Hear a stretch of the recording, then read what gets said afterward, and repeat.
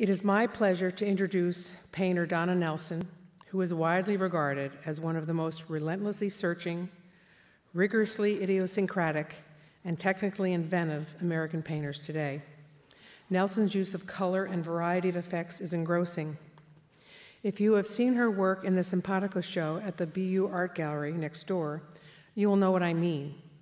There is physicality to Nelson's paintings, working sometimes on both sides of the canvas, which, when combined with what has been described as her loopy abstraction, brings, brings tremendous vitality to painting today. At the risk of stepping on a few toes, I must say that I am among those who believe the greatest painters working today, at least in the United States, are women. To quote Dona Nelson, who she believes the important thing in painting isn't how much time it takes to make the painting, but the painting's quality of time. Both scale and timing are fugitive aspects of abstract painting that can't be taught or even talked about. When Dona was in the second grade, her mother took an art class she loved her mother's little wooden art box with rows of heavy tubes of oil paint. She would take the tubes out of the box, take the caps off, and smell the paint. She says from then on, she was a painter and has been painting seriously ever since. Among many awards, Dona Nelson has received a John Simon Guggenheim Memorial Fellowship, two NEA painting grants, and a Tsuki Foundation grant. She is in the collection of the Guggenheim and Metropolitan Museums in New York and the MIT collection and many corporate collections, including Chase Manhattan Bank and Microsoft. Currently, Dona Nelson is a professor at Tyler School of the Arts in Philadelphia.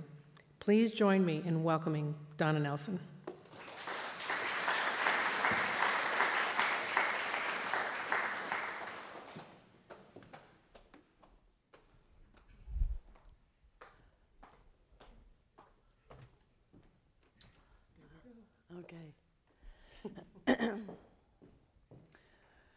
Well, it, isn't, I don't have two mics, do I? I, I, uh, I generally don't go back as far as I'm going to go back tonight. But I think uh, I generally don't try to tell people about my circuitous route of being an artist because it's so circuitous. And but tonight I'm going to do that. And so um, I'll tell you that uh, I went to the Whitney program in New York when I was 19 as an undergraduate. It was the first or second year of the program. And uh, I went from Columbus, Ohio, where I had studied as an undergraduate for a year or a year and a half with the painter Malcolm Morley. And um, he was a very important influence on me in that he taught me that all painting is conceptual and that distinctions between abstraction and representation were uh, not really what painting was. so I, when I was an undergraduate, we did, it was, Ohio State was a big pop school. And Lichtenstein had graduated from there a couple years before. And um, all my early paintings in, as an undergraduate were abstract and pop. I started out, um, the thing of it is, when you're young, history, is, you encounter history all at one time. So I really knew very, actually very little about painting.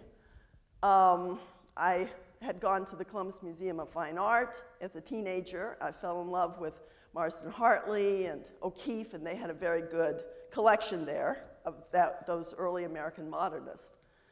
Uh, but as far as contemporary art, I knew very little. And uh, so I started out uh, actually being influenced by Motherwell and Lichtenstein, kind of equally. And so I would do these throw and ink drawings and grid them up and then um, transfer them grid by grid just with black ink on a white gessoed canvas, so they're very flat. And uh, that's what I did as an undergraduate. So uh, when I went to the Whitney program, I was very young. I, uh, I, I was very uh, intellectually uh, very underdeveloped. and um, the big impact on me while I was in the Whitney program was that we went to a lot of artist studios. We went to Frank Stella's studio, we went to Brice Marden's studio, we heard uh, Barnett Newman talk, And th- the biggest impact on me were two things. One was the space of the city of New York, uh, being surrounded with these very tall buildings, being channeled down these streets. I spent all my time out walking in the city. And the second thing was the way artists arranged their studios.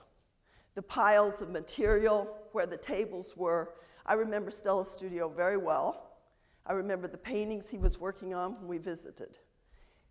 And it's the way artists go about working really interests me. And it even interests me as a teacher.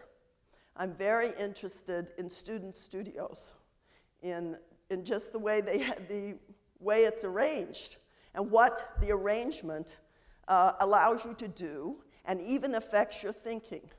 Because the distinction between physical arrangements and space and uh, intellectual investigation is a false distinction.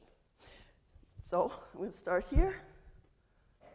A few years after I graduated from the Whitney program, I went to David Smith's um, place on Bolton Landing in New York. It was shortly after he had died.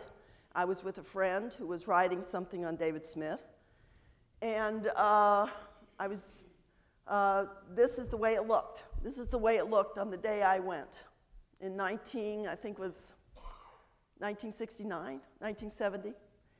Um, all of these Smith sculptures were marching up the hill like an army. And uh, Smith had built uh, these small cinder, cinder block buildings on his property. And one on the below the hill was the welding studio. He had built a little house for himself in which he had huge furniture that he had gotten at some Scottish castle. And so the furniture, I was very struck, the scale of the house and the scale of the furniture was very different. And then he had a big drawing studio. And I think Ken Noland said David Smith really knew how to go about working. And it was clear that uh, for something as heavy as steel and welding, that he uh, used these materials with the fluidity that uh, Stella used, felt, and so on. So I was very impressed with this. And this is a photograph of Smith, a late photograph of him looking over his sculptures. Okay, this is a little uh, poured painting. Like I said, when I was an undergraduate, I did kind of pop work and gridded these up and did these pours, uh, you know, um, large. But by the time I got to New York, about 1970, I started doing them directly. I started going back in history toward the abstract expressionists. And I did these enamel paintings, direct pours. This is called House at Night. And about the same time, uh, within a year or so later, I started doing these large oil paintings that were um, very uh, inspired by the uh, space of the city of New York. And this is called Loon, inspired by the lights at night. And this is the early 70s. I had a show I started showing way too young. and um, I had a show in 1975, my first one person show, and these are paintings actually that I made right after the show, which I have found throughout my life is kind of the way it is. I'll have a show and then I'll make, make the, the kind of the better work after the show. So, anyway, these are big paintings, and uh, I was very concerned with the density of the color, and I'd spread the paint out on cardboard so it soaks up the oil. So uh, the, the, I like these very dense uh, yellows. And, uh, you know, I was inspired by the architecture of the city of New York and also where I come from, which is the plains, and driving down the highways and seeing the water towers and so on. I was interested in twisting the space, trying to get space, the feeling of space into the painting uh, these contradictions like the shadows becoming the architecture and so on. And these paintings are about nine foot by seven foot. Uh, I, was very, uh, in, I was very influenced by Myron Stout at this time and, uh, and his surfaces. And This is one of the last. Of, I made a big series of these paintings. This is one of the last ones I made in 1976. It's about 70 by 40. And I was also looking at early Italian Renaissance paintings, Zeta and the twist, the twists in space, trying to do a flat painting where you'd get a twist in the space. Anyway, I had kind of a, I don't know if you'd call it an epiphany, but I had a, an experience that had a big effect on me. I went up to Yale University Art Gallery, and uh, that was like in 1978, 1979. I saw this painting by Manet uh, and I was said to myself, why am I painting flat? why am I trying so hard to get space into a painting in such a, um, I don't know, it seemed like such a tortured way.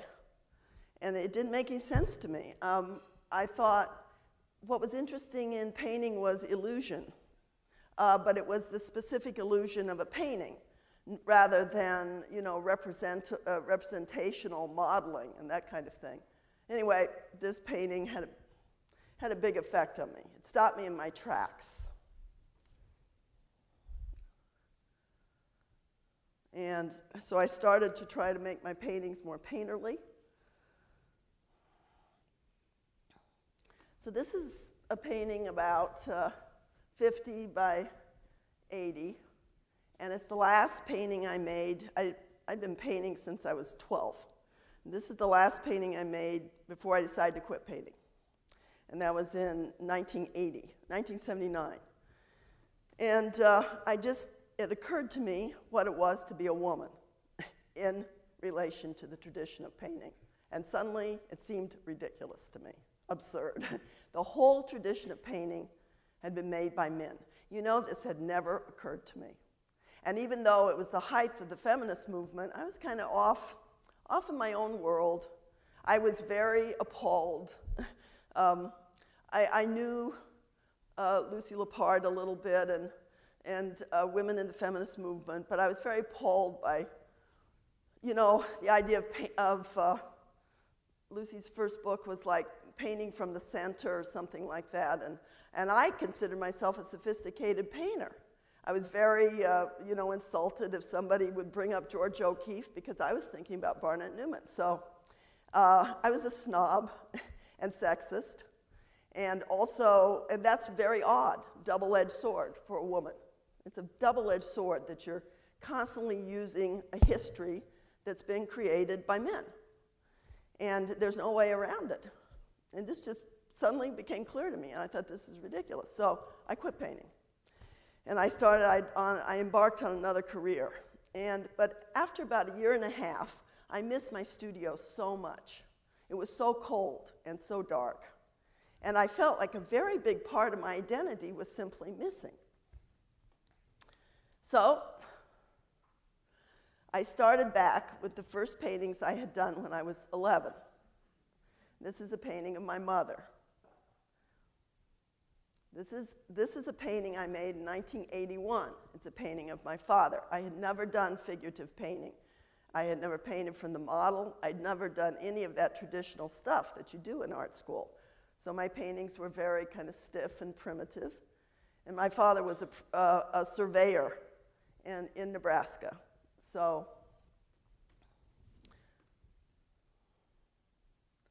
this is called Portrait of Myself as a Man. It was my way to give myself power and um, power in relation to the history of painting. It was kind of like a golem figure. It was made in 1982. And uh, it's a big painting. I like big paintings, that's my main thing. Okay, I tried to get models into my studio because uh, I didn't know how to paint from the figure. And this woman, her name was Dorada, and I painted it down in Virginia, where I was teaching at the time. And uh, I, I knew in my mind exactly the outfit I wanted this woman to wear. So I put a little description of the, of the woman I wanted to pose for me. I put it around campus, and this woman knocked on my door. Her name was Dorada. And she sat for me, and I started at the uh, stool and the, and the shoes and moved up and moved up. It was all going fine. Moved up, moved up. When I got to her face, I couldn't paint it. I, I worked and worked. I kept scraping it down, and she kept, and she was beautiful, and she kept wanting to see the painting. And I'm like, you know, I really don't know how to do figure painting. And this is just experimental. And so I gave her excuse after excuse. And I kept scraping off the face and putting it back on. It came out in this weird mask way. And at the time, I, I was actually looking at a lot of Picasso Rose period paintings, and it had gotten in, wasn't conscious, but it had gotten into my, you know, pre-conscious, I think. But any case, finally she insisted on seeing the painting, and she left my studio, and she never came back. so I had to just end the painting at this point. But I do think that it, it does reflect something about the way women are depicted and have been depicted and the kind of violence of being turned into a mask and so on. Um, but wasn't conscious because uh, none of my stuff was usually conscious at the time. And then I look back and think, oh my heavens. So uh, I painted, you know, I love New York. And I might as well have been in the 1930s. And this is the 1980s, and everybody else is doing, you know, I don't know, like David Salle, deconstructed pop kind of stuff. And I'm like painting the Brooklyn Bridge. I love the Brooklyn Bridge. And this was the 100th anniversary of the Brooklyn Bridge, 1983. And uh, it's all the people. To me, it was like uh, high art for the masses. It was a great celebration with fire coming down off the bridge, a waterfall of fire, and all of this uh, fireworks in the air. And I did several big paintings of this event. And these are all the people walking across, in my imagination, walking across the river and the cathedral that the Brooklyn Bridge is. I painted uh, Prospect Park. I would go out there on my bicycle and these are all large paintings. I tried to say something in my painting, I tried to express something about time, about going to the park over a period of a few weeks at the end of February where the, the weather and the season was changing. Um, I happened to see around this time this little Duchamp drawing in the Guggenheim, which interested me very much because, uh, because of the very open nature of the organization of the space and the idea that the space could shift and move around because I feel that the problem with painting in my time has been that the spa space tends to get locked. It tends to get locked into familiar compositions. And so this is still to me a very, very beautiful work from 19, I think, 11. It's called Study for a Chess Game. So I was painting a baby park. I did a few, a whole series of these paintings 80, 82 by 82. There was a, a little park near where I lived, and, but somehow my own childhood, I was kind of dealing actually with my own childhood all through the 80s. So this is kind of like 19, uh, you know, Bobbsey twins type illustration, but it just kind of came naturally out of the drawing. And these are just gesso and charcoal I also did um, these interiors, and uh, I was just struck with these headlines, you know, uh, the sports page next to the headline, nuclear arms buildup.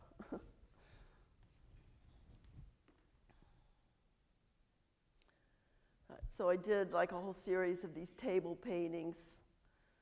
And this one's kind of flat, and the, the windows are kind of cut into the table. I was in a, like a real disarray, a personality kind of disarray at this time, and so it's kind of reflected in my paintings. This is a painting I did when I was like 13. The reason I show it to you is it inspired, it's called Joe's Bar. I always like bars. It inspired this painting, which I did in 1987. And I did this out in California, and this is an important painting for me because it's the first painting in which I used muslin and uh, I built the figure. I, I, was, I was using thicker and thicker paint, and I was spending a fortune on paint.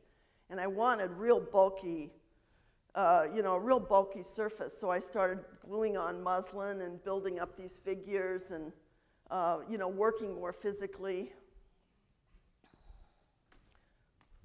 This is called California Landscape or The Man Who Needs Everything. And these are just like, and then my paint started to change really, really fast. As soon as I started using all those materials the, you know, the paintings just changed fast. and I started dyeing, um, you know, pieces of strips of canvas and uh, pouring paint. And it's called full sack. And then I was dying. this is 1990, I did this series of octopus paintings because somebody came to my studio and they said, Well, Dona, you, you have all these different kinds of paintings. You're kind of like they mentioned like the octopus vase in Janson. It's probably still there, Jan, you know, the big Janson art book.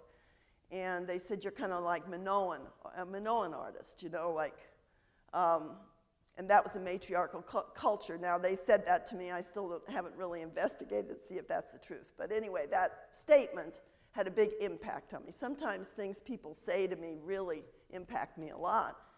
So I made a whole series of these octopus paintings based on this crazy little vase with this kind of cartoony octopus from like very long ago.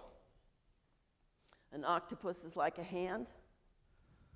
These are, this is dyed uh, canvas strips this is from 1990. It's a stuffed painting, and it's, it's about the beach. I was going to the beach all the time on the subway and laying on the sand and listening to the water. I, of course, switched to acrylic. It was a very good period for me creatively. This is called history.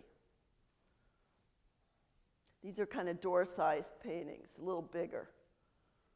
Islands. They're very, very built up. I was interested in the idea, and I still am. A lot of my ideas I haven't really completed. I probably never will. But I'm very interested in the idea of when a shape uh, starts to read as an image, and when just a blob of material starts to read as an image. This painting kind of deals with that. These crows are painted with oil paint and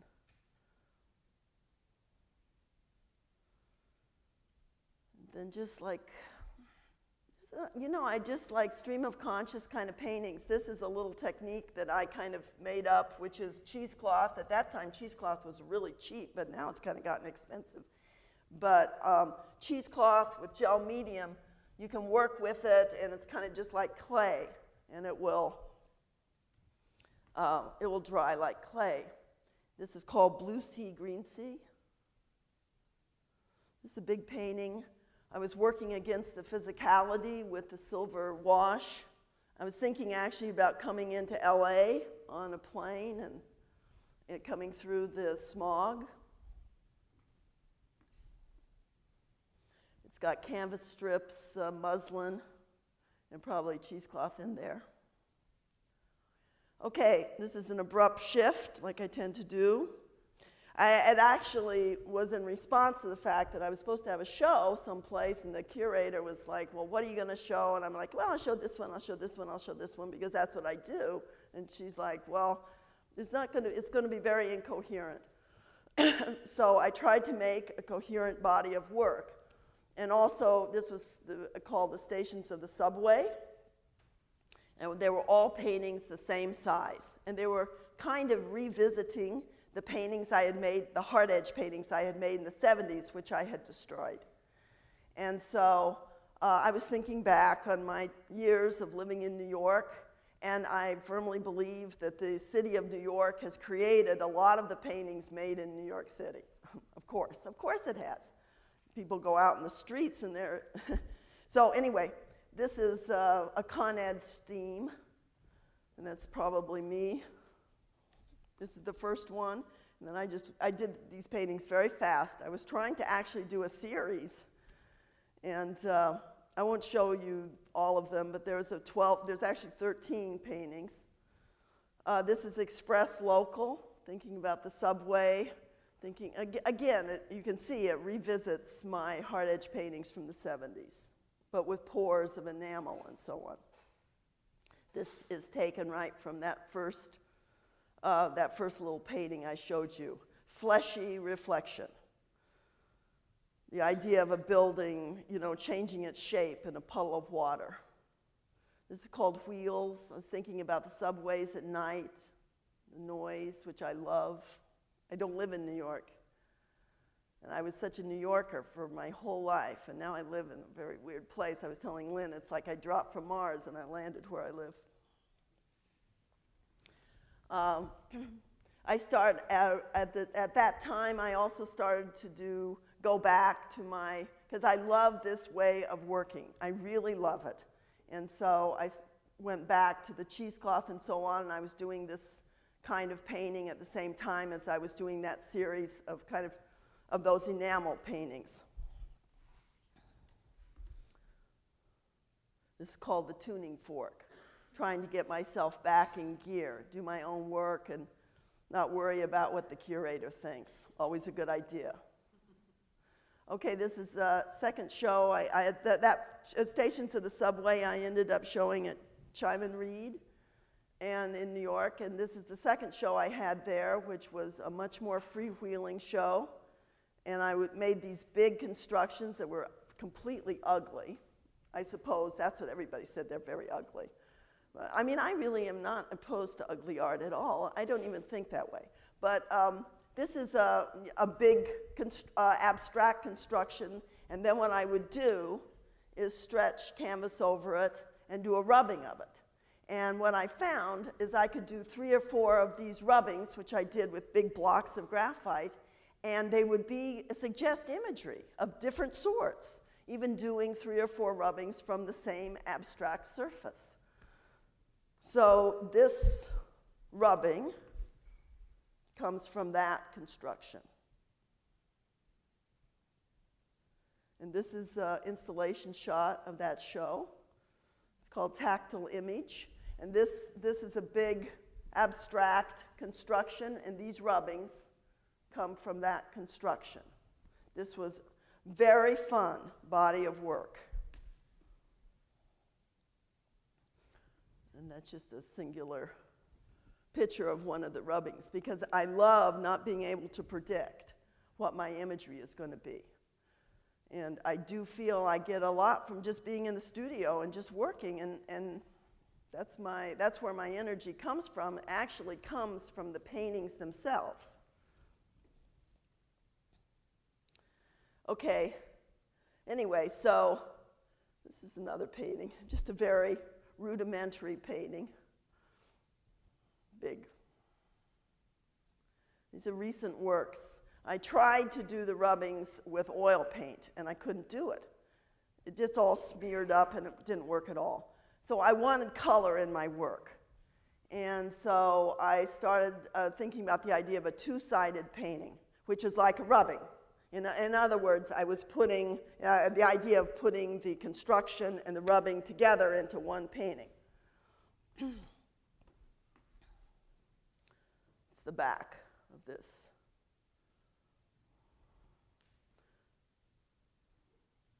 This is called the fourth and the 5th of July.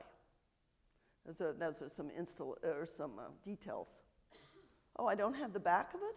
Huh, forgot. Well, I'm sorry. Well, um, anyway, so it goes, this is uh, an installation shot of this painting. It's pretty, it's out in Brooklyn at a little gallery called Regina Rex. And I really like this installation shot because I think that the, the, I like the way the people look with the painting.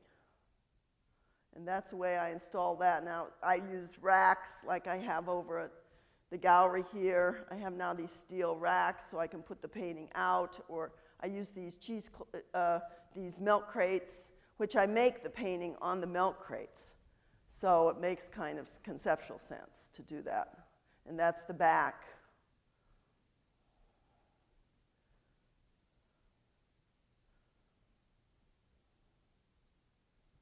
This, this painting is actually kind of an important painting to me. I'm still working. I, I like the way, um, That's in, in the side, well, now I'm going all directions. Yeah, this is cheesecloth that I just threw on the back here.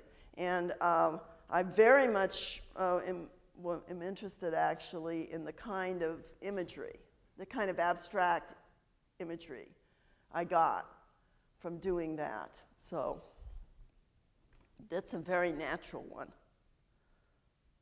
I don't, as I work, the way I work is I, I uh, you know, work one side and put the cheesecloth and so on on, and then I'll pour paint, and then I'll take the canvas off and turn it around, and I do that, you know, a few times until I'm sure which is the front and which is the back.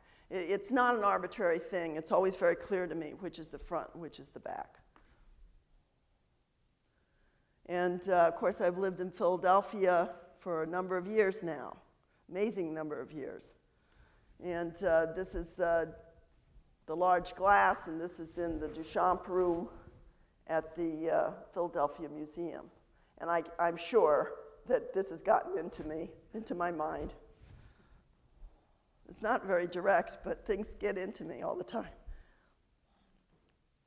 This is at the University of Pennsylvania Archaeology Museum, which I love.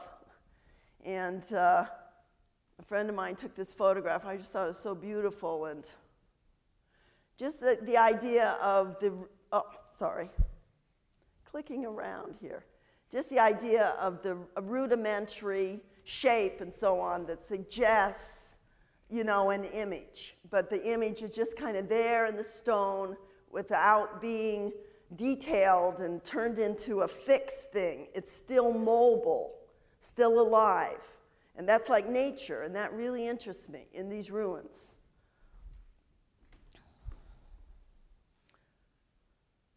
This is a recent painting. That's the back, that's the front.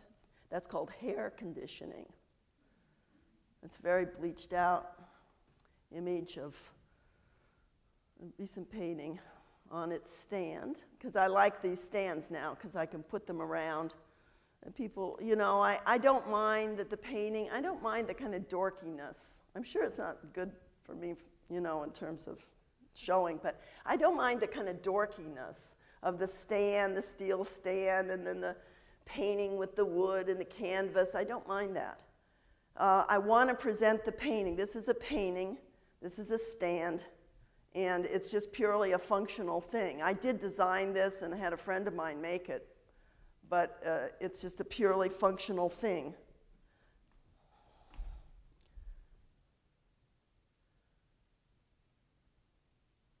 That's another recent painting.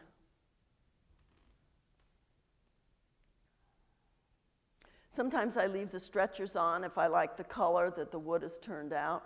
I don't mind. This is like some old stretcher of mine from a stretcher builder that's been closed 30 years.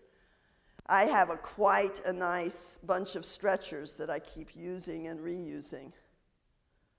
This is a, a place I like in, in Philadelphia. It's a very strange place, actually, because these are um, little decorative temple elements from Java in Indonesian from the 11th and 12th century.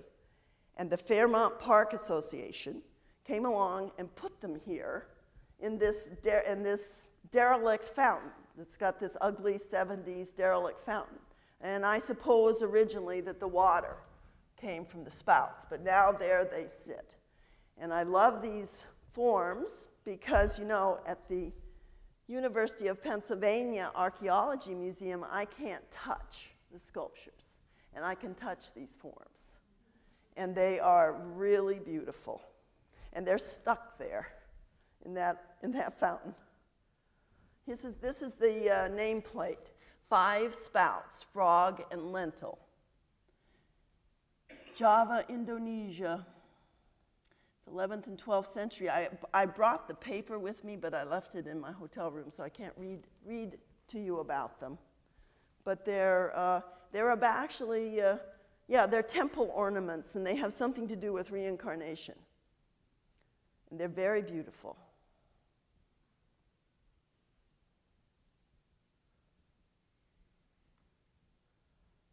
And so these are a couple of my last paintings. Uh, this is called House and Travels. I have a, there's a, it's got a back to it, but I don't have it. But this is one of my last paintings. That's it.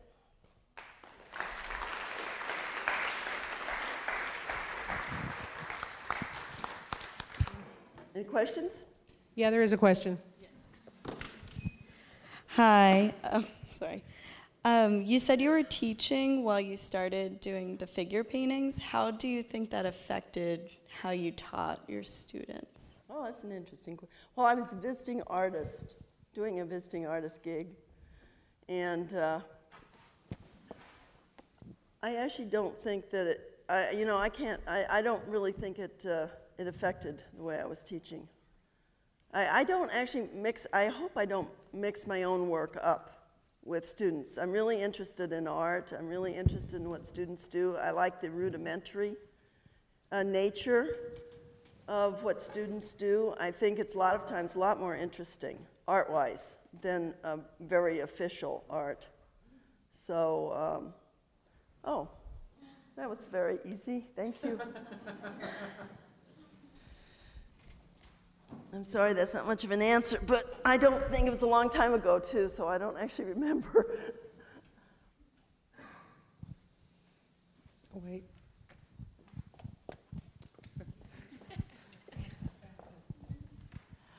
Hi. Um, can you talk about the how you balance like the element of chance with the spill and what you think the painting will look like or what maybe your plan is before you do that process? That's a very good question. I really let the spill rule. I really do. I don't, the main thing is with me is to work with good concentration. I don't listen to music. I, I don't have a telephone in my studio.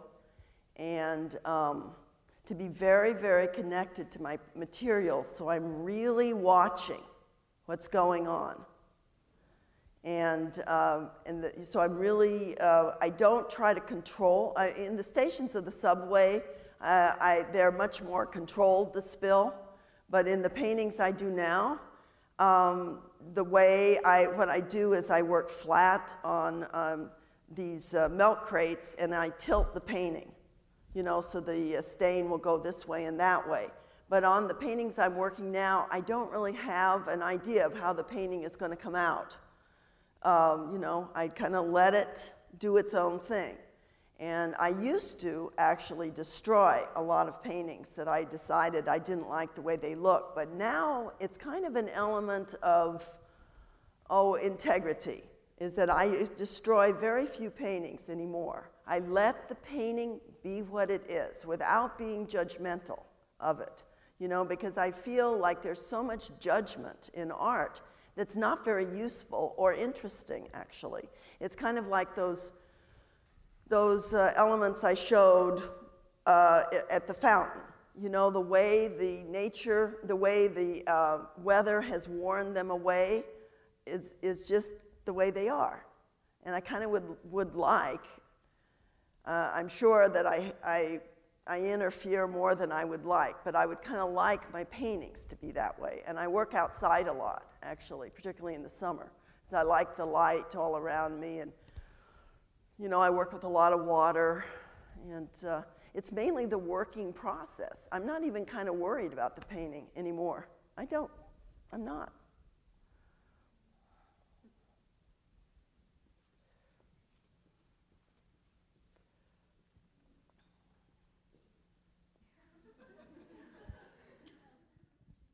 Well, thank you, thank you so much for your um, talk, and it was really exciting to learn more about your work. I also had a question relating to process. I was wondering, in particular with the two-sided paintings, how you begin to work. Do you work on unstretched canvas at all? No. no. Or I have a, I have a, I have a whole bunch of stretchers from years. and um, I stretch up the canvas on a regular stretcher. And then I'll start it off with like generally uh, uh, throwing a lot of cheese, cheesecloth and stuff on there. and I'll let it dry, you know, and then I'll come out and I'll mix up a lot of colors I like. And, um, you know, I'll start throwing the colors on there. Oh, the one thing, you have to brush the canvas with uh, flow, uh, flow release, which is a golden product, which allows the canvas to take the stain. And so, and then it will drip through to the back. And then usually I'll take the can when it dries, I'll take the canvas off, I'll turn it around, and I'll start working on the back or on the front again, which is smooth, you know. And uh, a lot of times I'll start the canvas by um, just imprinting the stretcher marks, you know, with a spatula and uh, watery acrylic, and that provides a structure for all of this. So.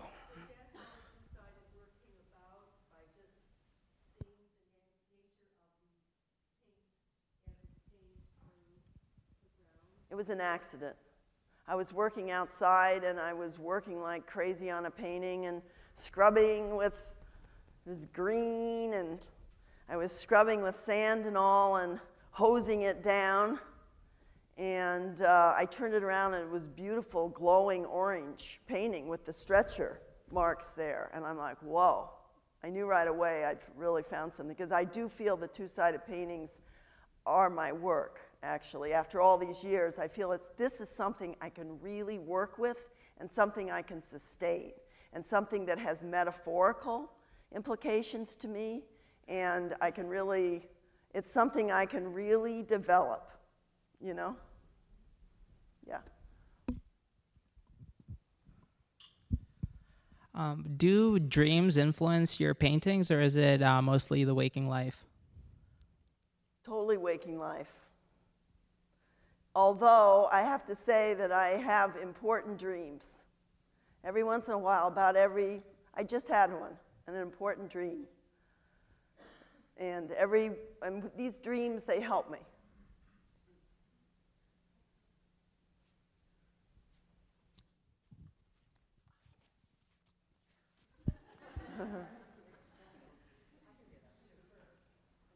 And somebody else back here? Hi, Dona. Um, This is, This is my friend Rochelle, who's here at the Radcliffe Institute. uh, I guess I have more of an observation. I know your work quite well, and I'm a great admirer. Uh, And the observation in watching the presentation is you showed the works, well, the whole presentation um, kind of generated a number of thoughts, but the one that I'm thinking about now, that I'm going to cast onto, is, is something about the work, how it, how it generates itself, how it's generative in and of itself. And particularly, uh, the examples were the pieces that you had to Cheim & Read. We discussed them as doing you know, the rubbings of the painting, so that there were three uh, iterations, in a sense, and, and the, the original, so-called the painting itself, um, as the matrix, was not any more dominant than any of the uh, than the other two that came from it. And then to go to these more recent paintings of the, the two-sided, the versos, um, and how those again, it's like the painting is generating itself. Yeah, yeah. And I, that's just an observation. It should have hit me earlier, That's but it just did. And I just, if you want to talk about that, great. Yeah, if you don't, I'm really I just wanted to share it. Share it. Really interested in that. Because I don't, and I feel like uh, I want the painting to keep generating, and my goal is that a painting keeps generating itself after it's done and when it's displayed, that it keeps producing itself somehow, like those little stone things do for me. And um, I think if you don't, are, don't have things nailed down too tightly about wh- what the work is in relation to art history, or especially what it means, because what my paintings mean, I really don't know at the time. And I have made some mistakes in the past by trying to say what I thought they meant, and it's only after many years that I kind of understand them, you know? So, a painting, I really am interested in the self generating kind of painting. And I, I am, of course, very interested in Jackson Pollock, and um, particularly bad Pollock, late Pollock. So called bad Pollock. There's no bad Pollock. Pollock is fantastic. But late Pollock, to me, really, they're generating themselves because he's so lost. It's in the state of being lost. That is, that's, when, that's when the art starts generating itself. You know, so I don't mind, you know, I actually don't mind the ups and downs of being an artist anymore because it's the worst times. It's the times when you're most lost that's when the art then can really take over and really make itself. Um, thank you for your talk. Um, I'm really interested in the sculptural nature of your works, the real tactile quality of the things that you apply to the canvas, and then especially in your two sided ones, how they take on this kind of cross between sculpture and painting.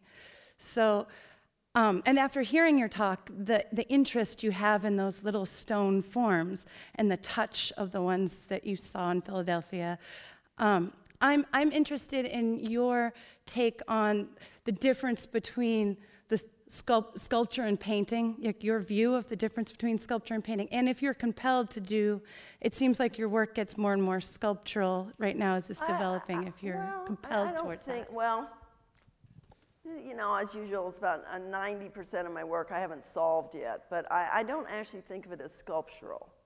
I think of it as screens. Screens. I like that idea. And, uh, you know, I like the idea of one of my paintings kind of in the middle of a room or something as a screen, so you can't see the other side and you have to walk around it. It's like a figure. It's like a figure.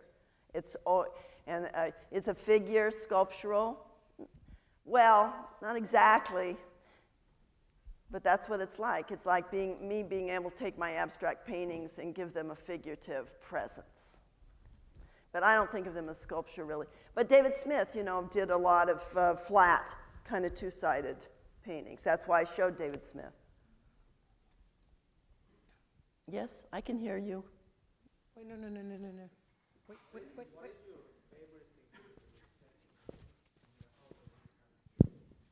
What is the favorite? That's a great question. What is my favorite thing I do other than painting?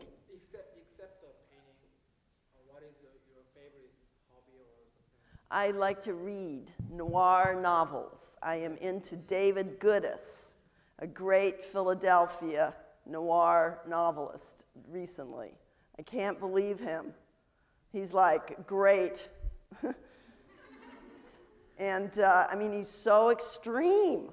And he, the, he takes the characters to such extreme places, but it's totally like, yeah, yeah, he had to get his face completely changed overnight. Definitely had to do that. So it's not like science fiction or anything, it's like real. And that is like life. so I really, that's what I do. I read. I have stacks of books. Right now I'm reading on the history of Stalin and his five year plans. So I just, I just read anything.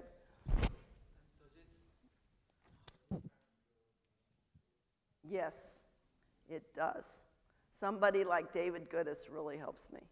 Really helps me because he's such, he really is so imaginative and so, uh, he wrote, you know, he was a pulp novelist. So he wrote thousands and thousands of words and he just kept going relentlessly and creatively, you know? And he wasn't all that famous when he, he did, he inspired Truffaut's movie Shoot the Piano Player. But he wasn't that famous or anything when he was alive. He was a pulp novelist, and now he's recognized, you know, as one of the great noir novelists. But what I'm inspired by is he just keeps going, persistence, you know? Thank you, Thank you, Dona. Uh, I remember 1980 as the height of the backlash against women as opposed to the height of the feminist movement. Uh, but I appreciated your comments, and the majority of art students are women. Are you still, do you still think of the history of art and painting as male? Very interesting phenomena, this, that the majority of art students are women. And I don't think it's talked about nearly enough. Not nearly enough. And how it's not a piece of cake. You cannot take on this history. There are all kinds of barriers. out there in the world, in the commercial world, unbelievable barriers. Um, and I, I mean, I don't even want to use the word sexism because it's way too mild. It's way too mild. It's like, whoa, it's whoa. It really is. This is painting. And it shows you no matter how much people put down painting and talk about this and that other form, painting is still the thing. And that's the reason, you know, uh, it, it, and it has huge implications that there's all these women in my classes. And I see, you know, I point this out sometimes to my fellow faculty members. You know, when I was at the Whitney program, I was the only woman, I'll say, and now I have a class that's 100% women, and I see this hostility bloom, and I'm like, I don't know what to do with it. And it's like very, nobody knows what to do with it. It's major. It's major. And then uh, I, I don't know if the earth is still going to be around we have studios and are able to paint, but in like 200 years, I don't know what kind of impact women are going to have on the history of painting. It's really interesting. But it's not pointed out enough to them of what a big deal it is. Definitely not. Because you don't want to just keep mentioning uh, Lee Krasner over and over again. That's ridiculous. You know, you want them to feel like they can use the history of painting.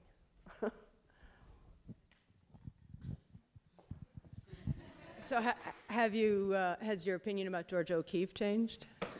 I still am not a big fan. I, I, I love Emily Carr. And I don't know if you know her, but Emily Carr, you know, is to me a much stronger painter than Georgia. Georgia's, you know, Stieglitz got a hold of her with the, uh, with the, you know, her work changed so much from when she was young. And uh, so, but there's a lot of, I'm discovering, you know, I discover women all the time, interesting women painters. And uh, I, I'm a big fan of Meret Oppenheim's late paintings, Sea Surface Full of Clouds, and those paintings as surrealist, uh, very interesting collage type paintings. And, uh, you know, I discover, you know, uh, Jay DeFeo, such an interesting artist. But you, you know, um, unfortunately, when you talk about women, you always have this kind of baggage about, supposedly, about their lives, which is a function of sexism. So you'll hear, well, well, Jay, you know, she used all that lead in, in the rose and she lost all her teeth. And, and it just makes me furious because you do not hear that. Men, a lot of male artists have had very rough lives too because it's very hard to be an artist. And this society, particularly, you know, because it's just very hard. And so it's a tough life. It's a, it's a tough life for everybody. But you always hear about women. Oh, they had this, you know, blah, blah, blah. And that's a way of discounting their work. That's just a, a total way of discounting their work. And it makes me so mad, and I always speak up about it. You know, I always do. And we don't talk about, uh, you know, well, it's kind of the way, the way they used to talk about Van Gogh when I was a kid. You know, when I was an uh, undergraduate at Ohio State, Van Gogh was considered a calendar artist, a pathetic calendar artist. So times change. Uh, Picasso, late Picasso, was considered pure kitsch when in the 60s. He was. So times change. So I don't worry about it, but I do speak up to my students about it. I do try to talk to them about it because it's rough. Hello. Um, you, you, were mentioning earlier in your talk about um, the arrangements of studios and even studio rules that um, you abide by, like no telephones, no music, all that sort. Is there any sort of grand rule that you set for yourself um, in studio practice that you would say particularly defines your work? That what affects that my work? Per particularly defines it, I guess. Defines it? Or helps define it. Get a lot of paintings going at once. By a lot, I mean three or four. I need to get three or four going at once. And that way, and then really get into it and go out there every day, no matter how I feel, you know, and get going. Get going.